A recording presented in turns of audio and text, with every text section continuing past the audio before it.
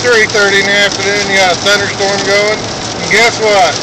Welcome to Missouri. It's gonna snow after a while. Don't this suck?